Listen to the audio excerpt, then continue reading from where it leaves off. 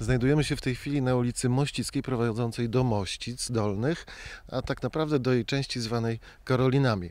I tutaj też e, zrealizujemy w tym roku odcinek e, około kilometr, ponad kilometrowy w stronę Karolin, e, utwardzony, ale to nie będzie jedyna z dróg e, w miejscowościach gminnych, ponieważ w tym roku również mm, realizujemy e, drogę do Zańkowa, drogę w Nowosiłkach, drogę w Terebiskach.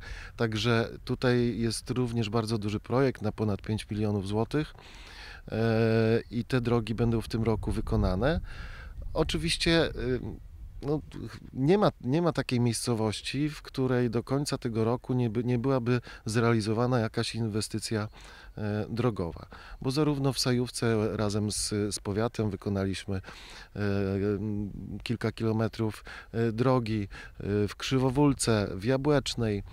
e, To są drogi, drogi powiatowe wspólnie z powiatem. Więc y, y, tutaj praktycznie każda miejscowość na terenie gminy do końca tego roku, y, a tak naprawdę do połowy tego roku, będzie miała jakąś inwestycję drogową. I to już podkreślam, że to nie są po prostu plany, to są podpisane umowy z wykonawcami na etapie prac geodezyjnych w tej chwili, jeszcze takich wiosennych i lada moment już wykonawcy powinni wejść z robotami takimi ziemnymi.